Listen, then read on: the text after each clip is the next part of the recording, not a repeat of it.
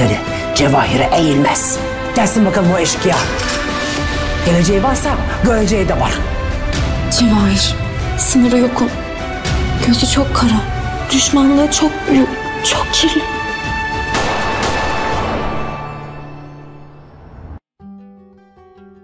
Здравствуйте, мои дорогие подписчики! Добро пожаловать на наш канал! Не забудьте подписаться на наш канал, чтобы быть в курсе новых видео. Давайте вместе посмотрим, что будет в новом эпизоде. Деморализует ли беременность внешность Дилана? Сможет ли Бэрон защитить свою семью? Будет ли Дилан слушать Бэрана? Смогут ли Карабеи предотвратить злодеяние Джавахира? Убьет ли баран Джавахира?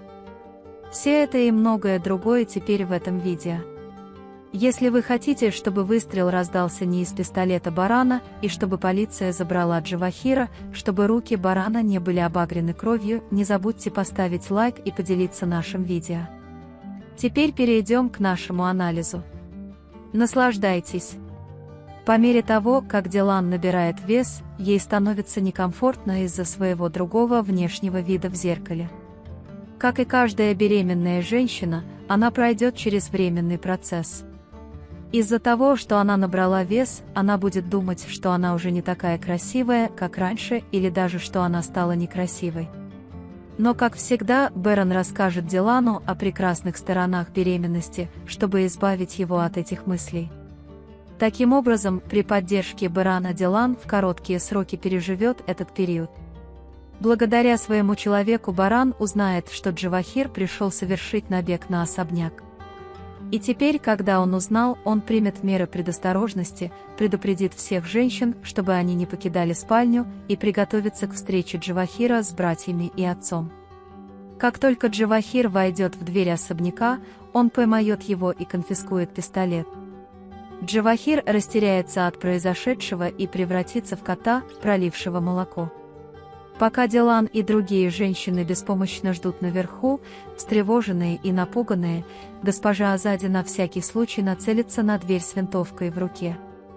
Дилан Бэрон сдержит свое слово и не выйдет из комнаты, чтобы защитить своего ребенка, несмотря ни на что.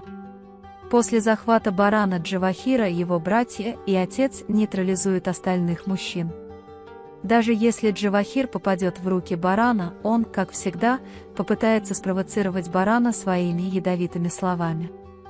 Но в этот момент Акиф и его друзья-полицейские получат известие о том, что Джавахир совершил обыск в особняке и придут к ним. Акиф либо ранит Джавахира, сказав барану не создавать себе неприятностей, либо выстрелит в воздух и не позволит барану выстрелить в Джавахира. В то же время, возможно, именно господин Надир выстрелил из пистолета и последовал за своим сыном Джавахиром, чтобы спасти его. На данный момент мы подошли к концу нашего анализа. Вы можете поделиться своим ценным мнением в разделе комментариев.